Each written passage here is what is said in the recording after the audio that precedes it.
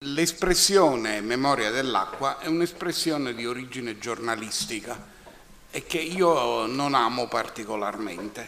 Cercherò di spiegare con questa fraseologia che cosa si intende e entrerò subito in argomento e vorrei anche dire una cosa, che l'approccio che vi sto per descrivere non è affatto un approccio, come si dice, eretico, ma trova le sue radici proprio nelle origini della scienza moderna, sia essa la fisica, sia essa la biologia.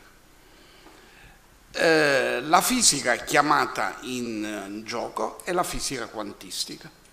La biologia chiamata in gioco è la biologia che ha a che vedere, che si occupa del funzionamento degli organismi nella loro unitarietà, nella loro complessità e non analizzati nelle molecole componenti. Perché sapete, la scienza moderna si è comportata eh, seguendo quello che fa un bambino intelligente quando gli si regala un giocattolo.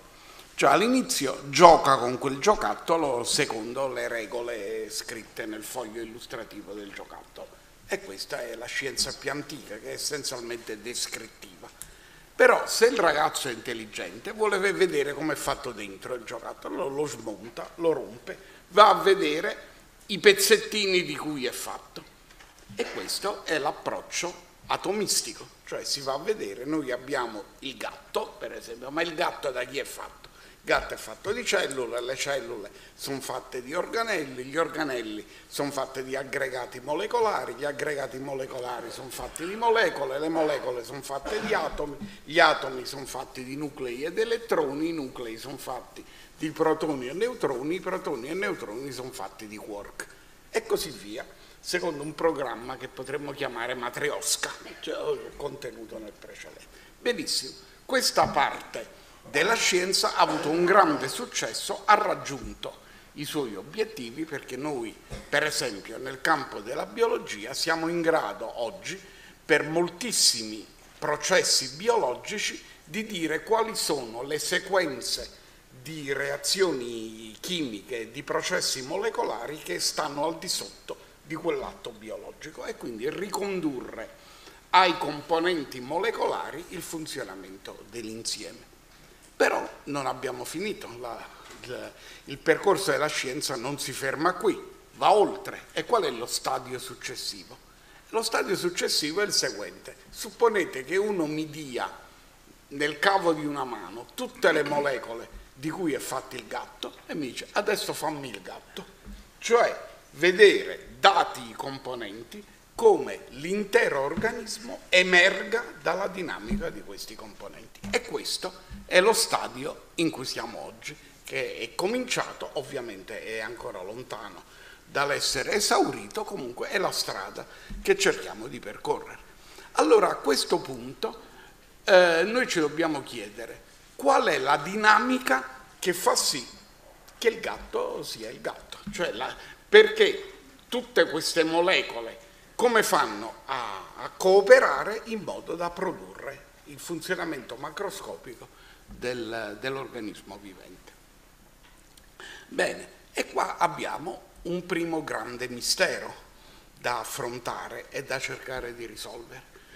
Cioè, se io prendo un insieme di molecole indipendenti l'un l'altro, che non hanno relazione l'un l'altro, e le metto in un ambiente ristretto, per esempio in un reattore chimico industriale, e le lascio a loro stesse, queste molecole si incontrano, fanno reazioni chimiche in tutti i modi possibili, perché le molecole fondamentalmente sono esseri poligami, cioè una data molecola non disdegna interazioni con chiunque altra, naturalmente e a seconda delle molecole che incontra fa reazioni chimiche diverse. Come risultato, se io prendo un insieme di molecole indipendenti e le metto nello stesso ambiente, ripeto, per esempio un reattore chimico industriale, queste le fanno di tutti i colori e quindi il risultato finale è un magma di specie molecolari diverse, dopodiché per l'imprenditore chimico che ha messo su quel reattore chimico industriale c'è l'ultimo stadio del processo che è quello di estrarre da questo magma la specie molecolare voluta e buttare via tutto il resto. E questo è all'origine del problema grave dal punto di vista dell'ecologia dei rifiuti chimici industriali.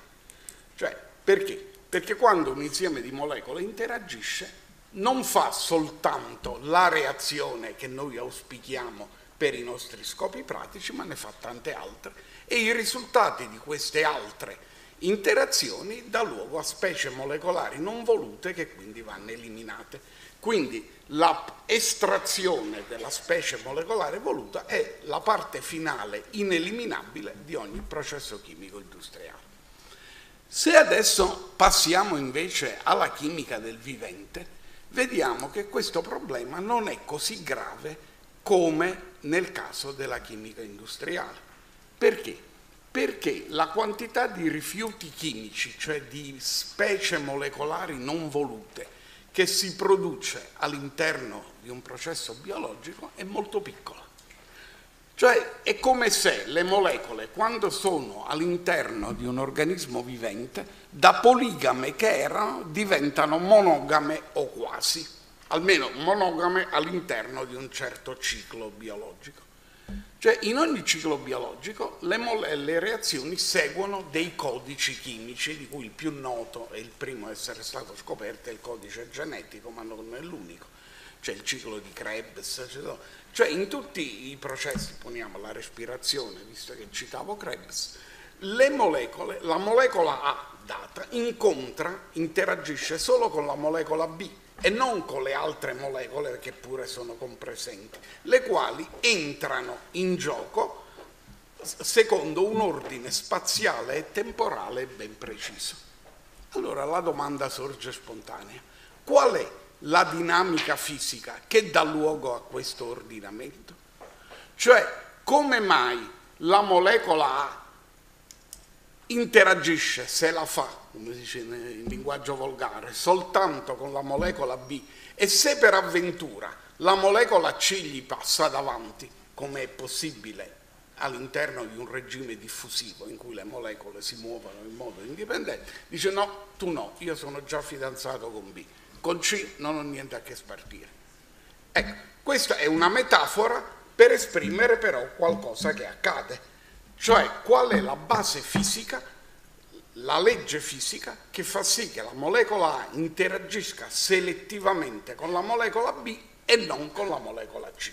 Ecco, questo è un problema che si presenta alla biochimica. Adesso vediamo nell'armamentario perché io vi propongo un approccio conservatore, diciamo, cioè un approccio in cui farò uso soltanto delle leggi note della fisica e non farò riferimento a ipotesi ancora da scoprire. Nella, nell'armamentario dei concetti conosciuti della fisica esiste qualcosa che ci può aiutare a risolvere questo problema? La risposta fortunatamente è positiva gli autori di questa risposta hanno ricevuto all'inizio del 2000, quindi una decina d'anni fa, il premio Nobel e la metodica da loro suggerita è già in uso, comincia a essere in uso nella chimica industriale e si fonda sul seguente, chiamiamolo teorema dell'elettrodinamica. Il teorema è il seguente. Supponiamo di avere un campo elettromagnetico esteso, cioè che riempie una certa regione dello spazio, che oscilli con una certa frequenza F0. Supponiamo che dentro la regione occupata da questo campo ci siano due molecole, A1 e 2, una che oscilla con frequenza F1, l'altra che oscilla con frequenza F2. Bene, stando così le cose, il campo prodotto da ognuna delle due molecole interagisce col campo di background eh, preesistente e dà luogo a un'interazione, la quale dà luogo a una forza attrattiva o repulsiva, dipenderà adesso lo vedremo dalle frequenze, tra le due molecole, il cui risultato finale è il seguente però, quindi veniamo al concreto Se le tre frequenze sono diverse tra di loro, questa forza è molto piccola e quindi in prima approssimazione la possiamo trascurare perché è più piccola di tutte le altre forze che entrano in, in campo, in particolare le forze statiche tra molecole. Però con una significativa eccezione. Se le tre frequenze sono uguali, adesso chiarirò cosa vuol dire uguali, se le tre frequenze sono uguali, le due molecole si attraggono con una forza molto grande a una distanza anch'essa grande. La distanza è l'estensione del campo elettromagnetico, cioè se le due molecole stanno dentro il campo elettromagnetico e questo campo elettromagnetico è esteso, il range della forza con cui le due molecole si attraggono è uguale alla taglia del, di estensione del campo elettromagnetico.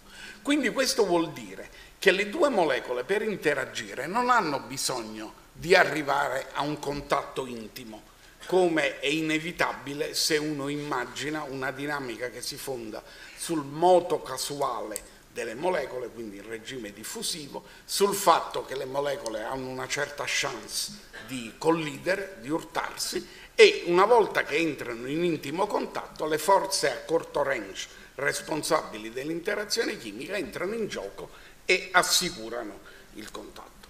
Naturalmente se il meccanismo alla base della biologia fosse questo, le reazioni sarebbero estremamente lente, mentre noi sappiamo che i processi biochimici sono molto veloci, sono più veloci delle corrispondenti reazioni chimiche tra le stesse molecole che accadano in vitro. Allora cos'è che garantisce questa velocità? Il fatto che tra le molecole emergano interazioni a lungo range, cioè le molecole, le due molecole in questione, anche se stanno a distanza di un micron tra di loro, però questo micron è riempito dal campo elettromagnetico esterno, si attraggono e si attraggono solo se risuonano. Quindi è come quando uno si chiama col telefonino io posso chiamare col telefonino, se faccio il numero giusto, una persona che sta a Londra e le altre persone, pur essere dotate di telefonino, che stanno a Parigi, a Bruxelles, a Zurigo, a Torino, eccetera, non mi disturbano. Perché? Perché non risuonano col mio telefonino. Quindi, in questo senso, questo meccanismo è un meccanismo che spiega, uno, la selettività degli incontri, cioè si incontrano solo molecole capaci di risuonare tra di loro e col campo di background, primo punto. Secondo punto, spiegare perché l'interazione può avvenire a distanza, cioè questa scelta, questa selezione può avvenire anche se le molecole non sono in intimo contatto, purché siano all'interno di questo campo di background. Benissimo, questo procedimento viene usato, comincia ad essere usato anche nella chimica industriale e corrisponde a questo fatto, supponete che io abbia in soluzione, per esempio, in soluzione acquosa, un insieme di numerose specie molecolari e io ne voglio estrarre, voglio estrarre i componenti solo di una specie molecolare, allora sparo dentro questa soluzione un raggio laser che ha esattamente la frequenza di oscillazione della specie molecolare evoluta, allora le molecole appartenenti a questa specie sono attratte all'interno del raggio laser, tutte le altre che non risuonano sono ignorate, restano dove erano, dopodiché la pressione di radiazione del fascio laser spinge queste molecole in una certa direzione e io le posso raccogliere. Tra parentesi, questo metodo oggi è adoperato allo Salamos, per esempio, per eh, estrarre l'uranio 235 dall'uranio naturale. Un tempo si usavano le centrifughe, adesso invece si usa, eh, si manda un raggio eh, laser che è capace di risuonare col nucleo di uranio 235 ma non con quello dell'uranio 238 e l'uranio 235 viene estratto. Quindi ormai si tratta di procedure che vengono usate nella pratica. La nostra idea, che risolve quindi il mistero che vi ho accennato prima, è che anche la vita faccia uso di questo meccanismo, cioè che attraverso un campo di background, di cui ora vedremo eh, quale possa essere l'origine, questo campo di background attira le, eh, le molecole che appartengono, che, eh, che risuonano col campo queste si incontrano tra di loro, fanno la loro reazione chimica e a questo punto tutte le nozioni della biochimica sono giuste. Cioè, il, problema che noi aggiungiamo è come fanno a incontrarsi queste molecole. Una volta che si sono incontrate, eh, i testi di biochimica sono assolutamente giusti, si incontrano, fanno una reazione chimica. E poi che succede? Siccome ogni reazione chimica produce in senso algebrico un'energia, cioè può emettere o assorbire, cioè in senso algebrico libera dell'energia, questa energia viene assorbita dal campo elettromagnetico circostante che in conseguenza cambia la sua frequenza, cambiando la sua frequenza non attira più le specie molecolari che attirava prima ma ne, attiva, ne attira altre, per cui abbiamo uno schema dipendente dal tempo uno schema in cui eh, eh, a seconda dello scorrere del tempo ho un insieme che si evolve di reazioni chimiche. Però a questo punto sorge spontanea la domanda, sì, ma nel caso dell'organismo biologico, chi mi dà questo campo elettromagnetico di background? Capisco che negli esempi citati, nella chimica industriale questo campo lo fornisco dall'esterno con opportuni laser, ma nel caso della, della, biologia, chi è che mi fornisce questo campo, il quale una volta che è presente, ovviamente col valore della sua frequenza di oscillazione variabile nel tempo, fa da direttore d'orchestra e quindi decide in ogni istante quali sono le specie molecolari che entrano in gioco e come si attirano? Un'ultima cosa prima di rispondere a questa domanda, che vuol dire che le frequenze sono uguali? Usando, eh, quindi eh, qua credetemi per fede perché vi cito solo i risultati dell'ottica quantistica, eh, l'interazione è possibile se la differenza, perché in natura è impossibile che due numeri siano esattamente uguali, cioè che abbiano tutto l'infinito numero di decimali dopo la virgola uguale, cioè a un certo punto ci sarà un decimale che sarà diverso. Allora dirò che due frequenze sono uguali se la loro differenza è minore del rumore termico, cioè di kT. Cioè se io ho due oscillatori che oscillano con frequenze la cui differenza è minore di kT, dato che quando si stabilisce la risonanza il sistema va a un minimo di energia, risparmia energia, e dato che in natura esiste il principio che si tende sempre al minimo di energia. Io dico scherzando, dato che io sono napoletano, che Dio ha creato il mondo dopo aver passato una settimana di vacanza a Napoli, perciò ha enunciato il principio che le configurazioni che la natura genera sono quelle che richiedono la minor quantità di energia. Ecco. Allora, dato che lo stabilirsi della risonanza produce eh, un minimo di energia e dato che adesso torneremo sull'argomento, gli oggetti quantistici, perché noi ormai dobbiamo accettare che la fisica quantistica è la fisica giusta fino a prova contraria, gli oggetti quantistici sono capaci di oscillare, di fluttuare e quindi fluttuando sono capaci di esplorare le possibilità che gli sono aperte, fluttuando le molecole scoprono che c'è una configurazione che assicura un risparmio di energia, allora la seguono e dove si appropriano dell'energia necessaria? Dal rumore termico evidentemente. Infatti questa è la ragione per cui quando un laser funziona, questo è ben noto, quando un laser funziona l'ambiente si raffredda. Perché? Perché per funzionare il laser, cioè per eguagliare tutte le frequenze che in principio sono diverse e debbono diventare uguali, ruba energia all'ambiente e quindi lo raffredda. Questo fenomeno è noto ai tecnici come laser cooling esiste in natura, fa parte del, della motivazione del premio Nobel per Cohen Tannuggi e gli altri anche l'hanno scoperto. Quindi vuol dire che eh, quando parlo di risonanza vuol dire che gli oggetti che debbono risuonare hanno delle frequenze la cui differenza è più piccola di KT, cioè del rumore termico. Adesso vediamo a chi nel nella, nel, nell'organismo biologico può fornire il campo elettromagnetico di background che è il direttore d'orchestra di tutta questa situazione. E la risposta è, ve l'anticipo, sono le molecole d'acqua. le quali formano, e anche questo è un mistero da chiarire, la grande maggioranza dei componenti molecolari di ogni organismo vivente. Cioè, dal punto di vista della massa, l'acqua forma una percentuale tra il 60 e il 70% della massa totale dell'organismo vivente. Però questo non vuol dire molto, questo soggetto, perché dal punto di vista del chimico, quello che conta è il numero di molecole, non qual è la loro massa.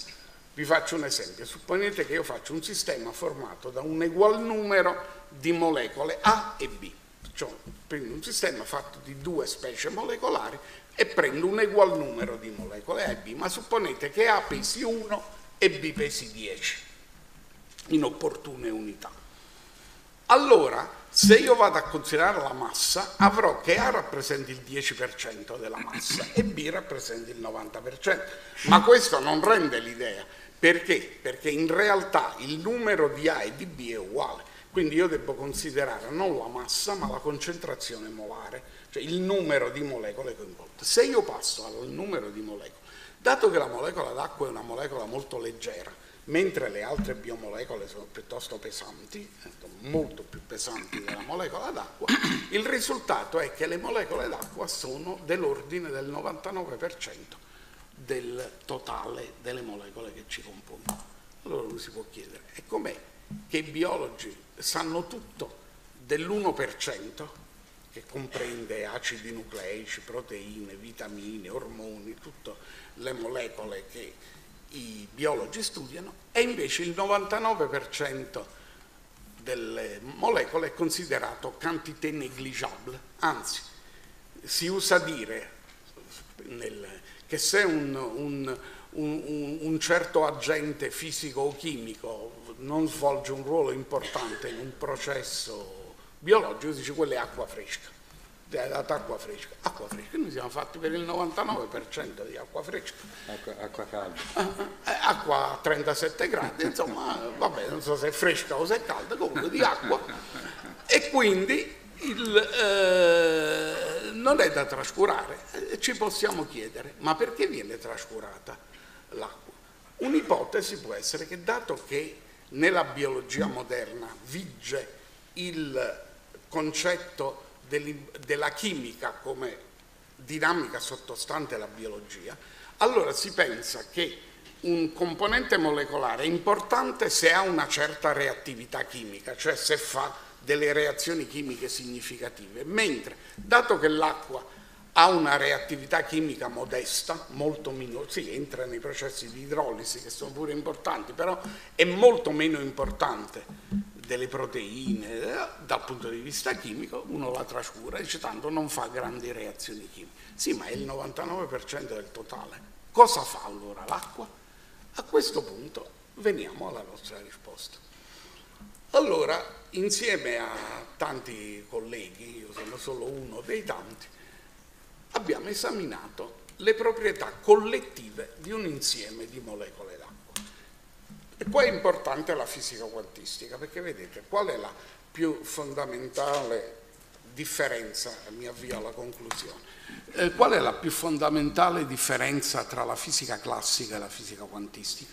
Nella fisica classica gli oggetti sono considerati fondamentalmente inerti, infatti non a caso il principio di inerzia è fondamentale, cioè si dice che un oggetto, purché isolato, notare bene, qua è importante, purché isolato, muta il proprio stato di moto solo se è soggetto a una forza. Cioè vuol dire che se io non tiro o spingo una data molecola, quella si muoverà di moto rettilineo uniforme per l'eternità. E quindi non va incontro a un'altra molecola, gli dico ma io sono fatto di molecole che un giorno quando si sono incontrate, come hanno fatto a incontrarsi? O c'è un demiurgo che ha preso la mira e ha deciso fin dall'inizio, quindi questa sarebbe una visione provvidenzialistica, che le molecole di cui io sono composto si dovessero incontrare a un certo momento, oppure non c'è soluzione. E infatti nell'ambito della fisica classica la vita è un fenomeno incomprensibile. Perché? Perché tutto dipende dalla forza esterna, cioè ci vuole un agente esterno. L'auto-organizzazione non è concepibile. Non è con... quindi, se volete, da un punto di vista, contrariamente a quello che i filosofi positivisti pensano, la fisica classica è inseparabile da una concezione religiosa dell'universo. E perché? Perché ci vuole il creatore, se, altrimenti se non c'è la forza esterna le molecole non si incontrano. E quindi, invece nella fisica quantistica gli oggetti non possono non fluttuare. Cioè la differenza, come diceva il mio defunto amico Giuliano Preparata, la differenza tra un oggetto classico e un oggetto quantistico è che un oggetto classico è come un alpino sobrio, solido sulle sue gambe, che può camminare anche su una cresta di montagna senza cadere, perché non sbanda. Invece l'alpino quantistico è lo stesso alpino che però ha bevuto un litro di grappa e quindi sbanda, oscilla. Se trova un'occasione di cadere la coglie. E, e siccome cadere vuol dire andare in uno stato di minore energia, mentre un sistema classico va in uno stato di minore energia solo se ci sbatte contro, un oggetto quantistico lo trova da sé la situazione di minima energia, proprio perché oscilla. Ma siccome gli oggetti fisici sono fatti di cariche elettriche, nuclei, cioè gli atomi sono neutri, ma sono fatti di componenti cariche, cioè nuclei, elettroni, i quali oscillano indipendentemente gli uni dagli altri, anche se sono legati da forze, quindi stanno vicini, però non sono obbligati a muoversi in fase, quindi si muovono in modo indipendente. Quindi come risultato le oscillazioni delle molecole producono automaticamente un campo elettromagnetico. Adesso, questo campo elettromagnetico, in una prima visione della natura, che è durata alcuni decenni nella prima metà del Novecento, si supponeva che si mediassero a zero, quindi fossero fluttuazioni che si mediavano a zero e alla fine non producevano niente di importante. Però nella seconda metà del Novecento partendo dal lavoro di alcuni pionieri che poi sono diventati sempre più numerosi e oggi forse, se non sono proprio ancora la maggioranza, sono comunque un grosso gruppo, scoprono che cosa? Che questi campi non si mediano a zero, ma sotto opportune condizioni possono dar luogo a un campo permanente. E qua vi cito un teorema che ha all'origine molte persone non uno. La persona che gli ha dato la formulazione finale è stato Giuliano Preparata, che però non è l'unico autore, cioè, cioè posso mettere almeno 15 nomi in fila di persone che un pezzo per volta hanno dimostrato questo teorema, che eh, discende, se volete, dalla fisica del laser, modo, che dice la cosa seguente. Se io ho un insieme, e poi ve lo mostrerò con una metafora come funziona, il teorema richiede la matematica però io mi aiuterò con una metafora per farvelo capire intuitivamente.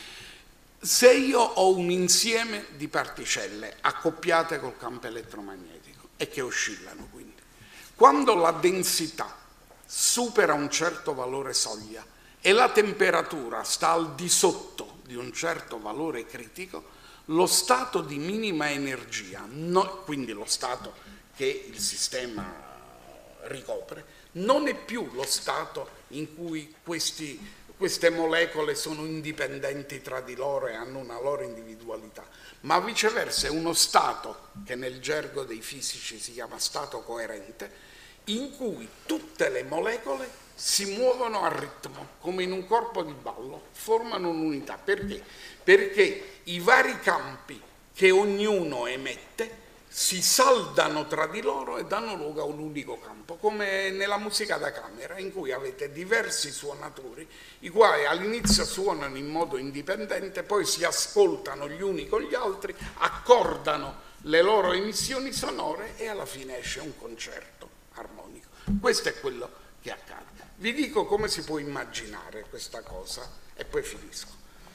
Perché è chiaro, una volta che ho dimostrato che c'è un campo elettromagnetico sottostante, poi il mistero della biochimica e dell'ordine biochimico si capisce alla luce del teorema che ho detto all'inizio. Allora, vediamo come accade il processo. Allora, prima cosa, osserviamo una dissimmetria che esiste in natura parlo di atomi, perché magari con le molecole sono più complicate. Quanto è grande un atomo? Più o meno un atomo è grande alla taglia di un engstrom. Un engstrom è un cento milionesimo di centimetro, quindi la taglia è Ogni atomo può esistere in più configurazioni, cioè gli elettroni, il nucleo si possono mettere in diverse configurazioni e ogni configurazione ha una certa energia. Eh, l'atomo normalmente sta nello stato di minore energia. Le configurazioni che hanno maggiore energia richiedono un apporto di energia esterna per essere raggiunte. Va bene. Allora, vi ho detto che nella fisica quantistica la natura fluttua e questo non è vero solo per le particelle, ma è vero anche per i campi. Che vuol dire? Vuol dire che quello che si chiama il vuoto, normalmente, che è il recipiente in cui eh, la materia è inserita, non è il nulla, perché fluttua pure lui. Quindi che cosa vuol dire? Che dal vuoto ogni tanto emerge un quanto di campo elettromagnetico, che in gergo si chiama un fotone, che esce e poi sparisce dura un certo tempo dato dal principio di indeterminazione di Heisenberg e poi sparisce. Quindi mentre diciamo il nulla classico è un vero nulla, cioè è quella cosa dove non c'è niente, il nulla quantistico è qualcosa, cioè non è il nulla. Quindi vuol dire che dal punto di vista della fisica quantistica il nulla non esiste. Quello che è il vuoto, cioè lo stato basilare, quello al di sotto del quale non si va, è qualcosa che è riempito di fluttuazioni. Cioè è come se ogni tanto si accende una lucetta. La notte classica è la notte nera che più nera non si può. La notte quantistica è una notte punteggiata da lucette, da lampi. Ecco. Questo è bene assodato sperimentalmente. Anche, non, non vi sto a dare i dati, ma li trovate sui libri di fisica. Questa è fisica ortodossa, ultra ortodossa. Adesso, supponete che eh, l'atomo possa fare a questo punto delle fluttuazioni tra le sue varie configurazioni usando i quanti che escono dal vuoto. Che energia debbano avere questi quanti? La tipica differenza di energia tra eh, due differenti configurazioni atomiche dell'ordine di alcuni eletronvolt. L'eletronvolt è l'unità di misura dell'energia atomica. Benissimo, allora ci vuole un fotone di alcuni eletronvolt, fissiamo un numero, 10, di 10 eletronvolt per fare avvenire la transizione. Risposta, quanto è grande un fotone di 10 eletronvolt? Bene, la grandezza di un fotone è la lunghezza d'onda dell'onda, perché la lunghezza d'onda è la distanza dentro la quale eh, si può trovare il quanto. Quanto è la lunghezza d'onda di un fotone di 10 eletronvolt? risposta 1000 angstrom, anzi 1200, 1200 angstrom. Cioè lo strumento, il fotone, capace di far avvenire una transizione dentro un oggetto grande un angstrom è 1200 volte più grande dell'oggetto medesimo. Capite? Questo è molto importante. Perché? Perché un fotone di 1200 grande 1200 Engstrom, dentro 1200 Engstrom di taglia, quante altre molecole ci stanno? Mica ce n'è una sola. Capite quindi l'approssimazione di Feynman, per cui eh, si fanno i calcoli considerando una particella e un fotone, corrisponde a una situazione di una particella infinitamente sola.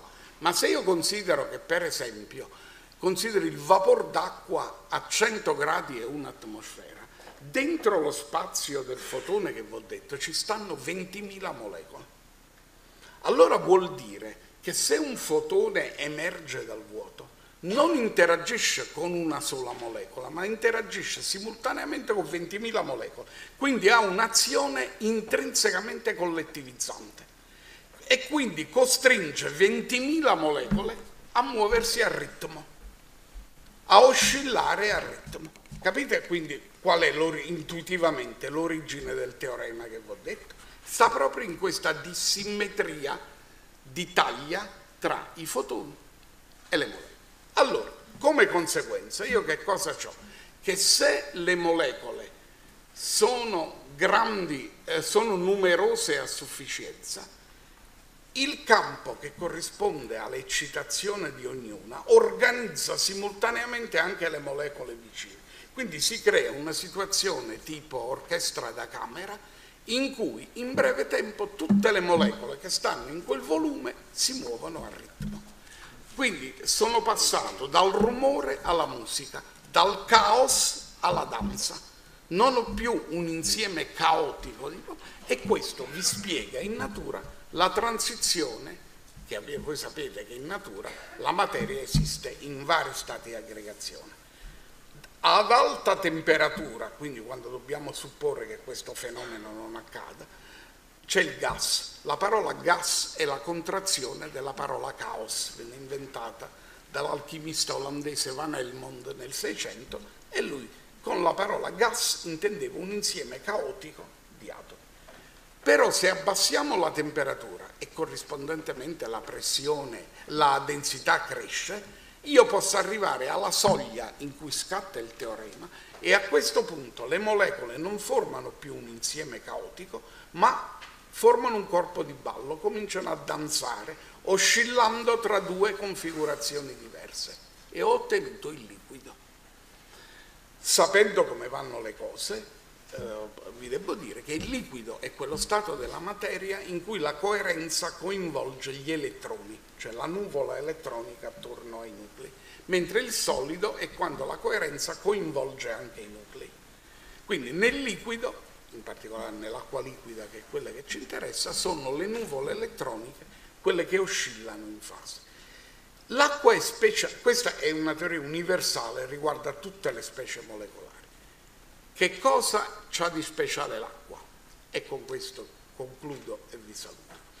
Il fatto che sulla base dei calcoli che abbiamo fatto l'oscillazione avviene tra una configurazione in cui tutti gli elettroni sono strettamente legati ai loro nuclei e quindi ci vogliono 12 elettronvolt e mezzo di energia per tirar fuori un elettrone quindi l'acqua nello stato fondamentale è un ultra isolante, cioè gli elettroni non li dà neanche a spararla, e invece un altro stato in cui c'è un elettrone per molecola che è quasi libero, è alle soglie della libertà. Ecco, questo è quello che c'è di speciale. E quindi la molecola d'acqua e tante altre, tutte insieme, collettivamente, oscillano in questa situazione. Come risultato, nell'acqua liquida si forma un reservoir di elettroni quasi liberi. Perché? Perché mentre nel gas gli, elettroni sono fortemente legati alla, ai nuclei e, e quindi non c'è modo di farli uscire, nell'acqua liquida invece abbiamo questa situazione. Questa situazione in cui nell'acqua liquida è possibile cedere elettroni. E infatti tutti i fenomeni di electron transfer studiati da Marcus che per questo ha avuto il premio Nobel qualche anno fa, mostrano che nell'acqua liquida esistono elettroni quasi liberi. Addirittura abbiamo realizzato, ho collaborato recentemente a un esperimento in cui facciamo vedere che si può ottenere dall'acqua pura una corrente elettrica. Acqua pura priva di ioni, deionizzata, quindi non è una corrente ionica, è una corrente che, e del resto pensate, c'è un fenomeno plateale che mostra questo, che è il fulmine.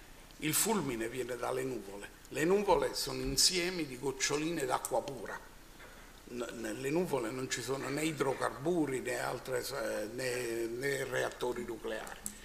Nei nuclei sono goccioline di acqua pura. Eppure da queste goccioline di acqua pura escono, possono uscire in opportune condizioni scariche elettriche tremende con grande emissione di energia. Eh, qual è il meccanismo che fa sì che una gocciolina d'acqua, che in principio dovrebbe tenersi stretti i propri elettroni, se le molecole stessero sempre nello stato di minima energia, invece li danno via con così grande facilità in un così gran numero? Questo è possibile solo se c'è un processo fisico che fa sì che un elettrone per molecola diventa quasi libero. E questo processo è l'oscillazione coerente.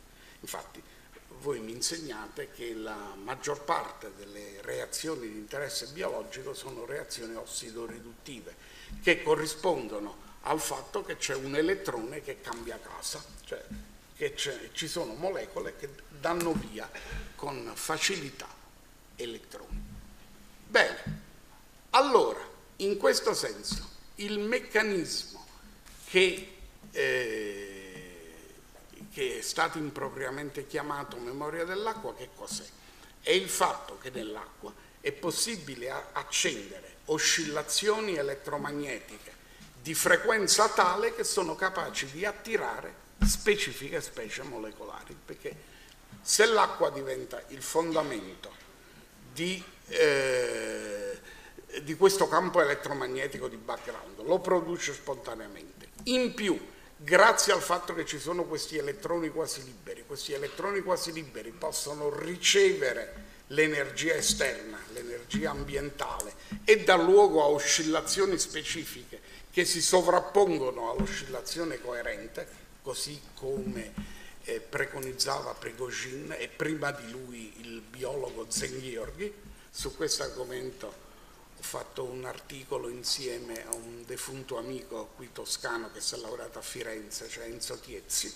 Abbiamo eh, scritto un articolo su come funziona questo, in, eh, eh, diciamo, questo afflusso, questo fatto che l'acqua, la struttura coerente dell'acqua è capace di prendere dall'ambiente esterno del, dell'energia e trasformarla in energia di oscillazione coerente che dà luogo a frequenze di oscillazione specifiche e quindi dà luogo a una struttura informativa. Cos'è la struttura informativa? Che ci dice quali molecole vengono attirate. Cioè ogni frequenza ogni segnale che corrisponde a un'oscillazione di frequenza ben definita ci dice quale molecola ha quella frequenza di oscillazione e quindi quale molecola viene attirata. Quindi ne concludiamo che i processi molecolari all'interno della materia vivente sono governati da una struttura elettromagnetica formata da oscillazioni di specifica frequenza. Questa frequenza varia col tempo e dà luogo alla scelta di un, diverse sequenze di molecole che vengono chiamate in gioco. Eh, questa struttura, cioè questo fatto che esiste un governo elettromagnetico della chimica, che a sua volta è influenzata la chimica medesima, perché quando avvengono le reazioni chimiche la frequenza delle oscillazioni elettromagnetiche cambia, quindi chimica e elettromagnetismo si intrecciano in questo senso tra di loro, nessuna delle due è più importante dell'altra, ma cooperano, è stata verificata esperimenti di cui parlerà il collega qui vicino eh, da Montagnier, che, eh, il quale fondamentalmente cosa ha fatto? Ha, ha, ha sospeso in acqua dei, eh, delle sequenze di DNA, le specifiche sequenze ha osservato che quando la diluizione raggiungeva certe soglie, cioè in pratica questo può, so che il professor Dei è molto interessato all'ormesi e quindi questo fatto che sto per dire può essere un suggerimento di cos'è l'ormesi. Cioè se io ho eh, ogni molecola emette eh, campi di una certa lunghezza d'onda. Se questi campi si sovrappongono tra di loro, ci può essere un'interferenza negativa per cui si cancellano. Per cui se la concentrazione di molecole è grande, allora eh, il risultato è che il segnale elettromagnetico si cancella. Se però la concentrazione scende al di sotto di una soglia, tale fissata da quale fatto? Dal fatto che la distanza tra due molecole vicine è uguale alla lunghezza d'onda del campo elettromagnetico che viene emesso, allora questo fenomeno di interferenza negativa non avviene, le onde si sommano e danno luogo a un effetto elettromagnetico. Quindi c'è un effetto quando la concentrazione è al di sotto di una soglia e questo effetto sparisce quando la concentrazione è al di sopra di una soglia. Questo è accaduto anche nell'esperimento di Montagnier, cioè lui ha osservato che se la, le molecole di DNA erano troppo dense, cioè la diluizione eh, non eccedeva limite, non si osservava nessun segnale. Ma aggiungendo acqua e quindi aumentando la diluizione si raggiungeva una soglia per cui avendo messo la provetta in una bobina, nella bobina appariva una corrente elettrica che corrispondeva a un campo di una certa frequenza. Adesso, e questo è il punto interessante, si prende questo segnale, lo si manda per via telematica a mille chilometri di distanza in maniera da evitare accuse di contaminazione molecolare. Per esempio da Parigi lo si manda a Benevento dove è stato riprodotto l'esperimento.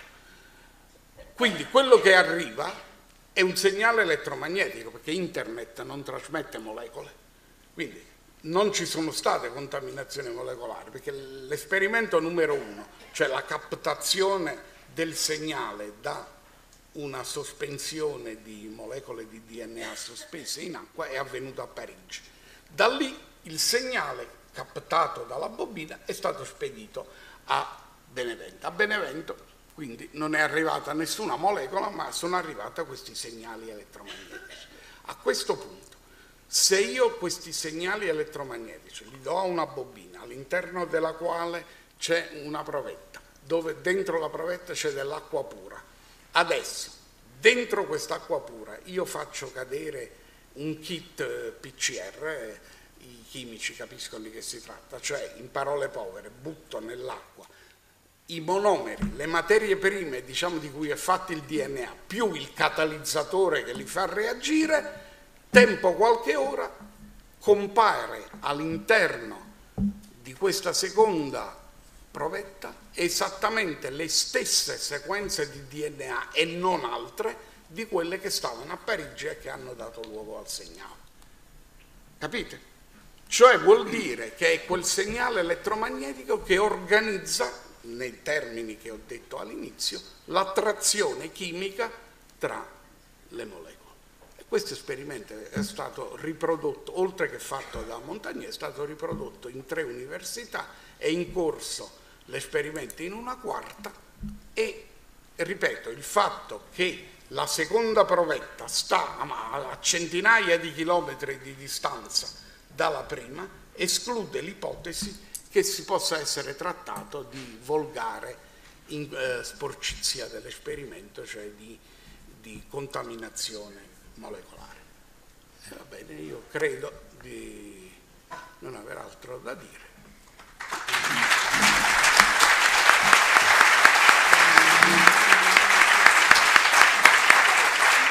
E in altre parole tu concludi che più che Montagnier, Benveniste ci aveva ragione.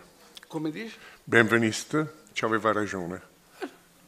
Cioè, perché Montagnier di fatto ha ripreso Benveniste Infatti, pari pari. Ma vorrei dire una cosa, che nella scienza non è che esistono gli scopritori, non c'è scoperta che non sia stata fatta già prima qualche altro. Cristoforo Colombo non è stato il primo ad andare in America, sarà stato il cinquantesimo, forse il sessantesimo, soltanto che quando c'è andato lui i tempi erano maturi perché la gente lo stava a sentire. Prima di lui ci sono andati i vichinghi, verosimilmente ci sono arrivati pure i portoghesi, c'è chi dice che gli antichi romani anche ci siano arrivati,